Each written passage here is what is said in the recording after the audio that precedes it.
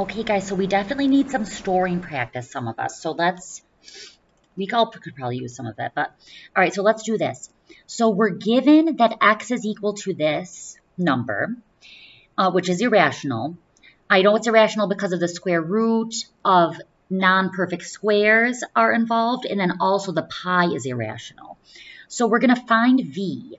So this is what x is, and then v is this. So we're going to find the value of e given this value of x and store, excuse me, storing. All right, so I'm going to type this radical into my calculator. So I hit the radical. Okay, make sure that you're able to do this, guys. So um, pause the video if you can't find things. And then I go alpha y equals, and I hit this. You know, along the way, if you want to simplify, if it makes things easy, fine.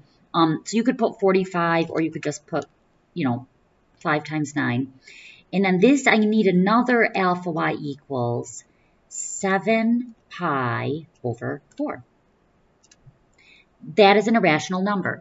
If you round it, you're not going to get the correct answer necessarily. If you use enough decimal places, you could, but um, or you will, but um, yeah, better to just store it. So I'm going to hit this store button down here, store. I can choose any letter. To get the letters, you hit alpha and then any key with a green letter above it. So I'll use A. So I'll go alpha, and that'll put an A in there, and then I hit enter. Okay, so, and then I'm going to write down, I'm going to say stored, I'll just say stow A. All right. Anyone reading my paper would know that I stored that as A. Stow. I'll say stored. Stored A. All right. And so now I just go V equals, you know, you don't even need to show this part. V equals A to the fifth plus 2A to the third minus 15. All right. So then I go A to the fifth plus 2a to the third minus 15. Okay, so v, and then when we do our answer, we want at least three decimal places. So 223.508. Okay, now let's do this one. Okay, so this time we're going to solve for r. you could do this differently than me. If you want, um, what I'm going to do this is just a suggestion for how you could use the storing thing. I'm going to store this as A. That co so this coefficient I will store as A. And then this coefficient I will store as B. All right, so the first coefficient, mm, this is, I guess I'll just use all right, all right, so 5 over 7 pi 9 squared, okay? And I'm doing things I don't necessarily need need to do in the calculator, but I just, I'm writing, I'm putting in the calculator exactly as it is on my paper, all right, in case that helps anybody. And then I'm storing, and then this will be A. Okay, so that's stored as A.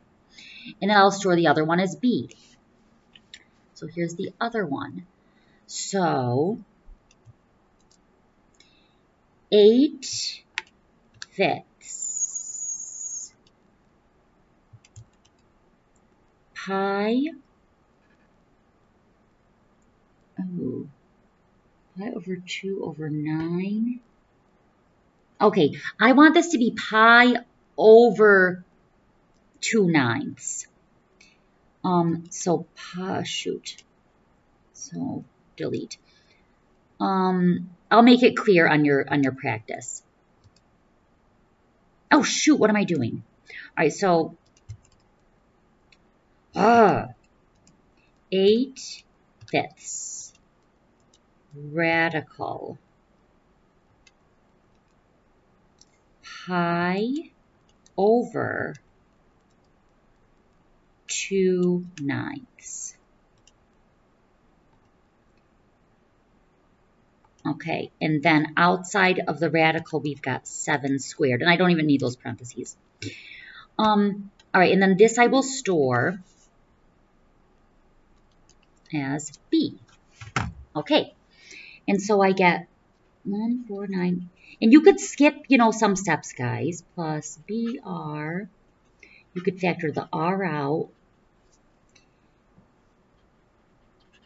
Okay, so R is equal to 1149 over A plus B. So now I go 1149. Wait, I'll use this. 1149 over A plus B. Yep, 2.411. Okay.